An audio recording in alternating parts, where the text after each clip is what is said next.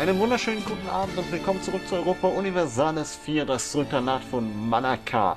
Wir sind äh, fast soweit, den nächsten Krieg gegen Aceh zu führen und sie dann endgültig zu unterwerfen. Was brauchen wir dafür? Hauptsächlich noch ein paar mehr Truppen. Sie haben 5000 Mann, wir haben 7000 und natürlich das Ende des Waffenstillstands. Das ist im August der Fall, oder Ende August, Anfang September.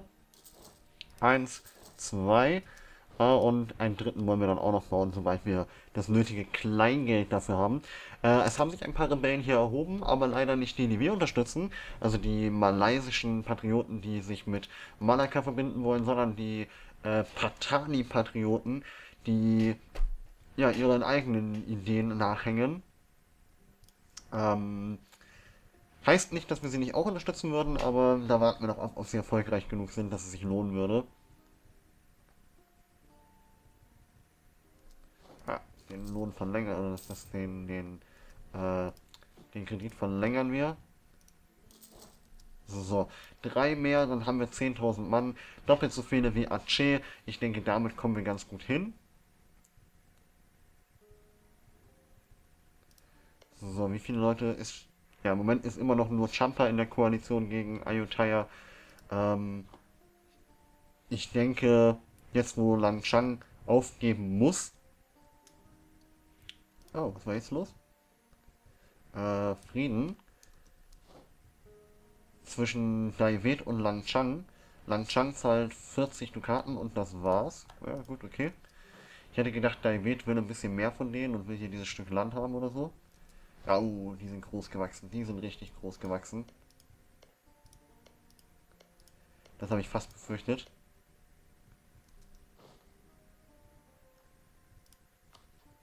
Und sie dürften aber in die Koalition gegen Ayutthaya eintreten. Denke ich zumindest. Und dann nähert sich der Zeitpunkt, wo wir Krieg gegen Ayutthaya dann auch führen können. Früher oder später. Noch nichts.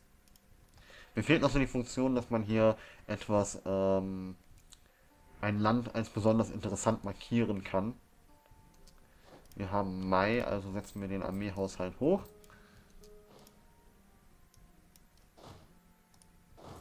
Marschieren unsere Truppen nach äh, Aru. Ja, vielleicht nicht ganz nach Aru, wir wollen sie nicht zu misstrauisch machen. Ich weiß nicht, inwiefern die KI hier ähm, besser ist, wenn man es auf hart setzt und so, sowas dann gleich richtig einordnet. Höchstwahrscheinlich nicht, aber ich gehe auf Nummer sicher, denn ich habe wirklich erlebt, die KI ist auf hart wesentlich gemeingefährlicher. Ich hoffe, dass zumindest diese kleine Provinz hier ähm, zu den Feinden übertritt. Wir hören fürs Erste auf, die Rebellen zu unterstützen und schicken dann gleich einen Diplomaten los, der die Rebellen unterstützt, die tatsächlich unterwegs sind. Sodass wir nach Möglichkeit ähm, da vielleicht einen freundlichen kleinen Nachbarstaat gründen können, den wir an uns binden können.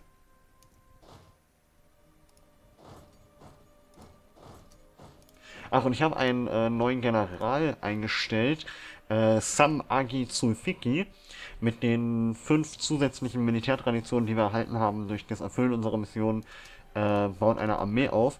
Und der ist wirklich mal fähig. Nicht unbedingt was Belagerungen betrifft, das kann bis jetzt nur unser Herrscher, aber der Rest ist wirklich ganz gut. Da kann ich mich nicht groß beschweren. Oh. Ah, okay, super. Ähm... Wo ist unsere Flotte? Wir haben noch Juli.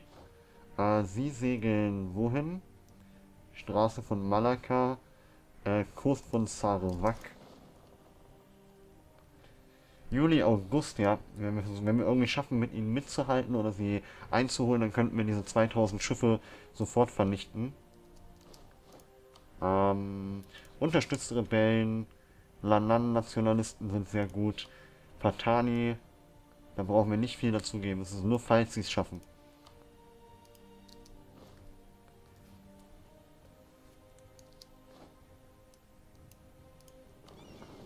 Okay, wir lassen unsere Schiffe mal da stehen. Vielleicht funktioniert es ja. Da unten kommen sie raus. Also ich denke, es ist relativ klar. Ich versuche den Krieg zu erklären und dann bereits meine Flotte in äh, Angriffsposition zu haben. Das wären zwei leichte Schiffe, die wir aus dem Spiel nehmen könnten und dann hat unsere Flotte wesentlich bessere Chancen. Oh, bleib da, bleib da.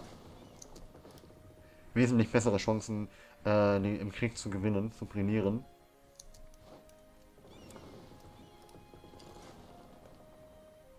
Ne, Moment. Dahin und dann dahin und dann dahin und dann dahin und dann dahin. Und vielleicht erwischen wir irgendwo eine Flotte von ihnen. Höchstwahrscheinlich nicht. Okay, wir sind in äh, bereit, Krieg zu führen. Aber da wir noch nicht ins Minus laufen, will ich noch ganz kurz warten. Uh, Patani-Nationalisten, 13.000, bitter. Straße von Malakka. Du bleibst da stehen und sobald das Schiff dann angekommen ist, am 5. September jetzt. Diplomatie, ähm, oh shit, ich habe natürlich nicht nachgedacht. Ähm, Ayutthaya, wir müssen den hier abziehen. Ach, verdammt. Wenn mir sowas passiert, dann könnte ich mich immer so richtig selber beißen. Straße von Johor.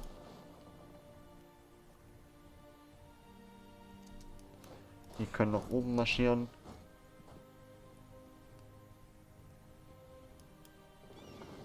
So, und danach gehen sie in die Malayan Sea Zone. Und dann hoffentlich ins Mekong-Delta. Oh ja, oh ja, oh ja. Da können wir sie einkesseln, wenn unser Diplomat schnell genug ist.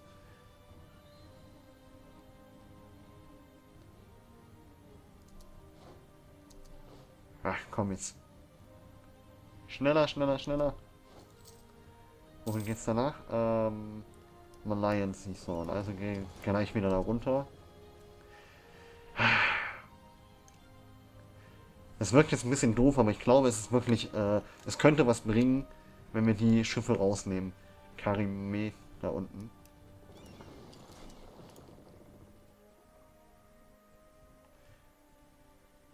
Und dann Christmas Islands. Äh, eine Enklave der Ungläubigen.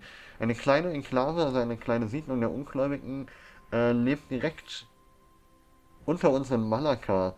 Und sie wollen einfach nicht konvertiert werden. Wir könnten sagen, äh, wir vertreiben sie, aber ich sag mal, wir lassen sie in Ruhe, nehmen das Gold und verlieren die Pietät. Jetzt schauen wir mal. Ob wir jetzt schon Mali allein? Nee. Hm, okay, aber anscheinend auch noch kein nicht mehr Boni. Interessant. Christmas Islands da unten.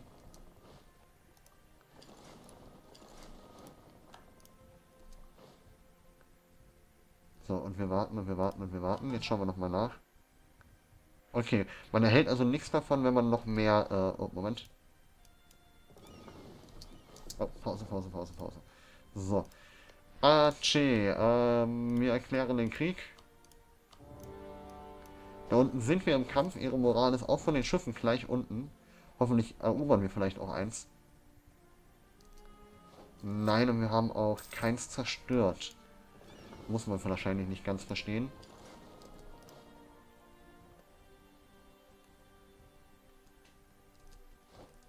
So richtig weiß ich nicht, warum man äh, dann manchmal keins zerstört. Ich meine, die hatten jetzt keine Moral. Oder vielleicht war das auch das Problem, dass die Moral so niedrig ist, dass sie geflohen sind, bevor wir eins zerstören konnten. Das könnt ihr mir vorstellen. Würde so etwas Sinn machen. Truppen abspalten. Wir müssen äh, sofort nach da unten und diese 1000 Mann auf der Stelle vernichten. Äh, beziehungsweise wir schicken erstmal einen hier hin, lassen dort wieder ein paar Truppen zurück und dann geht's weiter. Solange wir ihre Schiffe getrennt halten können, ist das alles kein Problem.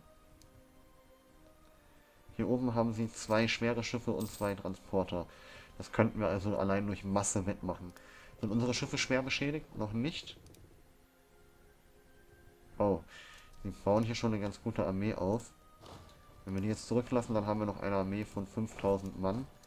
Auch wenn es da 4 steht, es sind äh, 4960, das zähle ich als 5.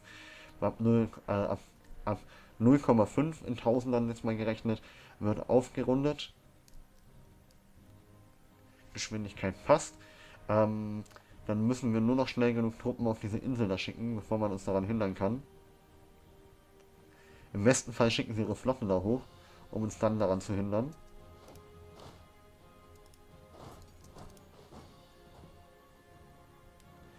machen einen Plus von 1,49. Das heißt für mich, ich werde noch einen Fußsoldaten ausheben, 1000 Mann, und sie auf Ben Kullen stellen.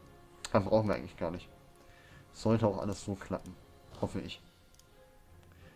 Ähm, noch hat Ayutthaya keinen Anspruch auf meine Provinzen. Noch scheinen die Rebellen nicht besiegt. Ah, sind verschwunden. Besiegt sind sie also. Ah nein, da unten sind sie. Gut. Ähm. Mein Gott. Diese Verfolgungsjagden, ich habe es glaube ich schon oft genug gesagt, die nerven mich wirklich richtig an.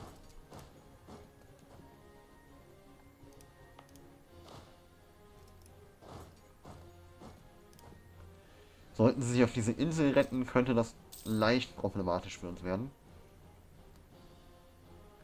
Dass diese Patani-Nationalisten äh, das alles wollen, das gefällt mir nicht ganz so. Aber ich hoffe, dass wir die friedlich integrieren könnten.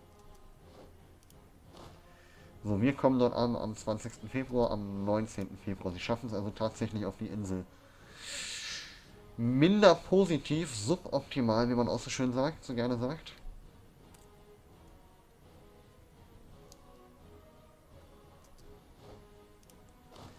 Wir halbieren die Truppe und führen, wenn wir die nochmal halbieren, 1000 Mann darunter. Jetzt müssten wir nur die, die hier rausnehmen und die wieder zusammenfassen. So, dann lassen wir sie erstmal auf ihrer Insel sitzen und stürmen dann die Insel ganz zum Schluss mit vereinten Kräften.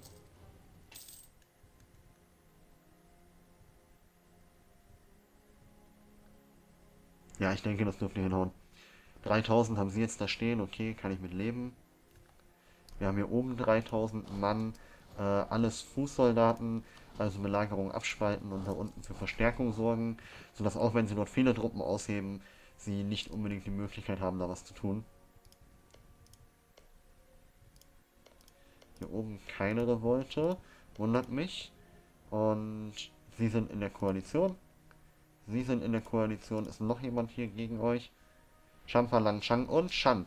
1a. Das nächste Ziel ist ein Krieg gegen Ayutthaya, auf jeden Fall. Ähm, und weil es für uns so gut läuft, können wir mal wieder ein paar Kredite zurückzahlen. Und einen noch. Ich muss das hier sehr vorsichtig und langsam machen. Und dann bauen wir noch eine Kogge. Und das war's dann erstmal wieder. Die Kogge dient natürlich dazu, um ähm, dann, wenn hier dieser friedliche Staat entsteht und dieser hoffentlich friedliche und uns gut gesonnene Staat von Patani, dass wir ähm, trotzdem Truppen auch landen könnten im Notfall, um dann eben in diesem Koalitionskrieg zu helfen und äh, den Krieg recht gut voranzutreiben. Immer noch alliiert mit denen, okay. Aber Shan wäre auf jeden Fall eine große Hilfe. Und wenn wir dann noch Bengal dazu bekommen, das könnten wir jetzt schon mal gucken. Äh, wir wären noch nicht bereit. Okay, es reicht noch nicht ganz.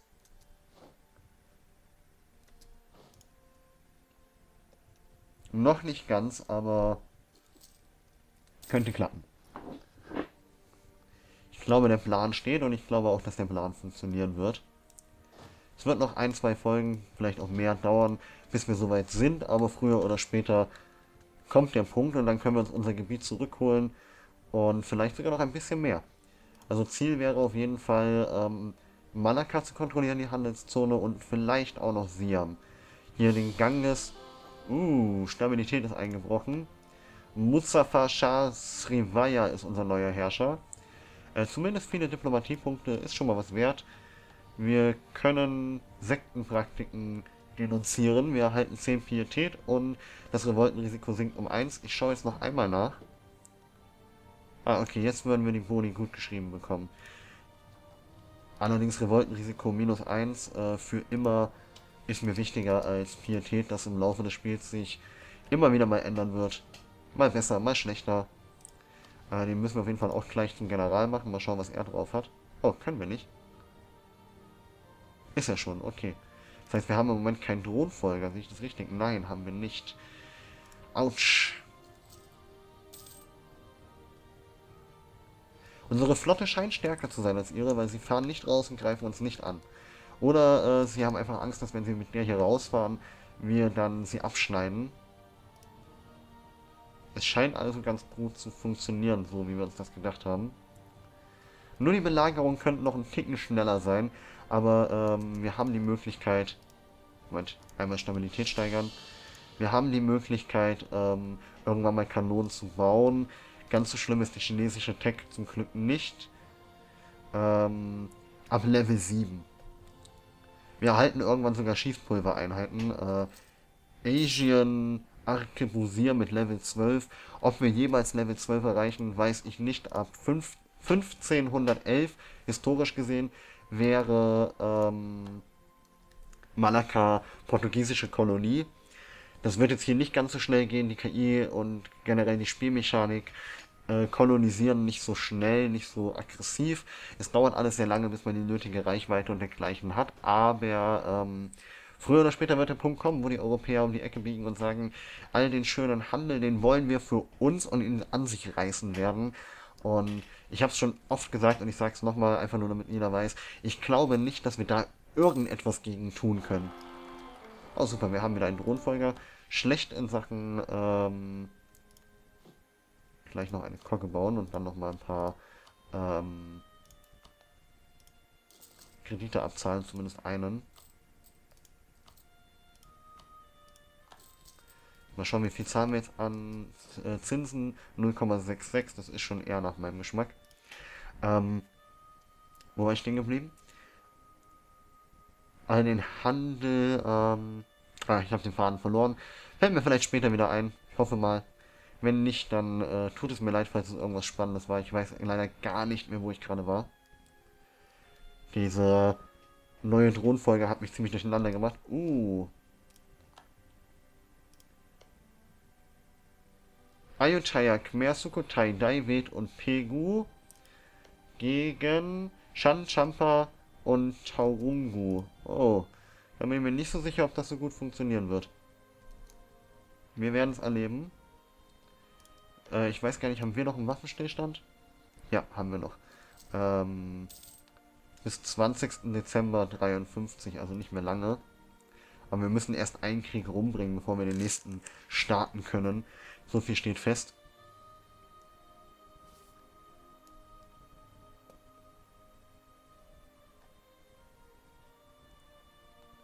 Ich hoffe, dass hier langsam mal die Provinzen äh, übertreten zu diesem neuen Staat.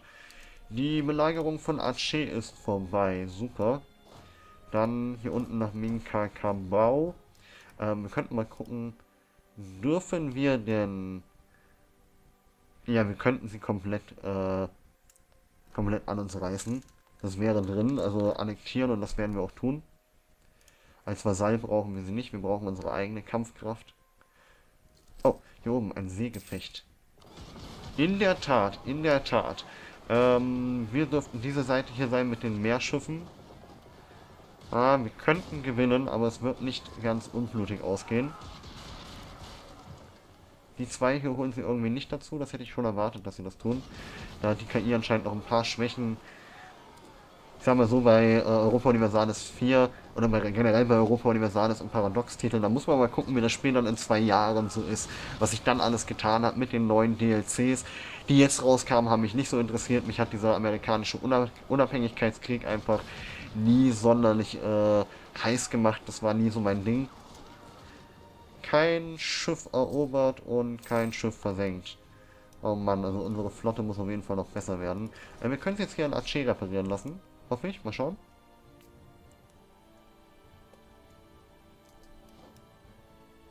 Ja, das ist auch gefallen. Dann marschieren wir unsere Armee nach Bengkulu. Sie versuchen ihre Flotte zu retten. Wir reparieren fleißig.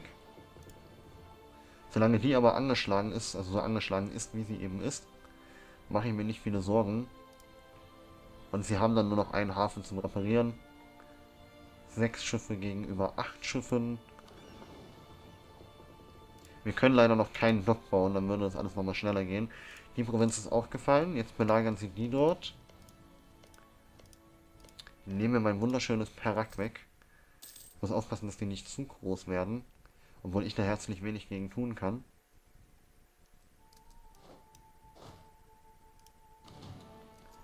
So ehrlich muss ich dann leider sein. Vier Kampf Kampfschiffe und wir haben sechs. Ja, über 50% müssen wir die Sachen auf jeden Fall bringen. Denn auch wenn wir sie jetzt in der Seeschlacht äh, besiegen würden, jedes Schiff, das wir äh, verlieren, schadet uns. Es hilft uns leider gar nicht, wenn wir jetzt eine Seeschlacht gewinnen, aber dabei zwei Schiffe verlieren. Das wäre dann wirklich ein Pyrrhus-Sieg. Zwar nicht in diesem Krieg, aber im nächsten, der uns bevorsteht.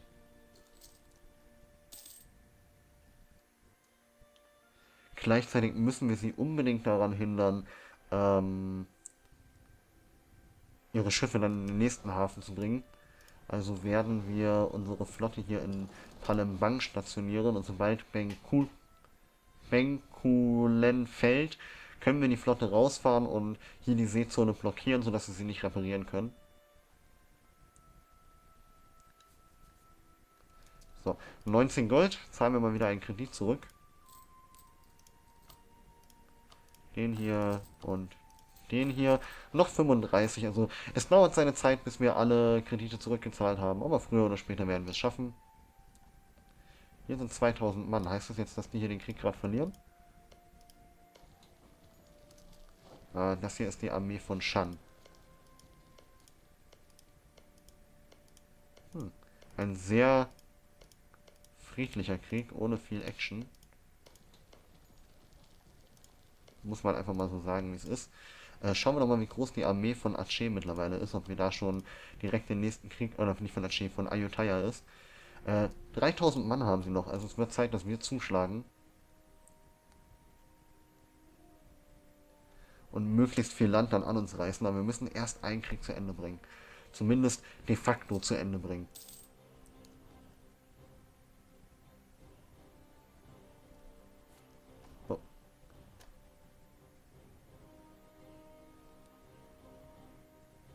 Und wir sollten dann schon mal Geld sparen für den Moment, wo dieser Krieg äh, kommt. De facto zu Ende bringen heißt, wir sollten auf jeden Fall Benkulen belagert haben und diese 3000 Mann beiseite gewischt haben, sodass wir das auch schon mal belagern.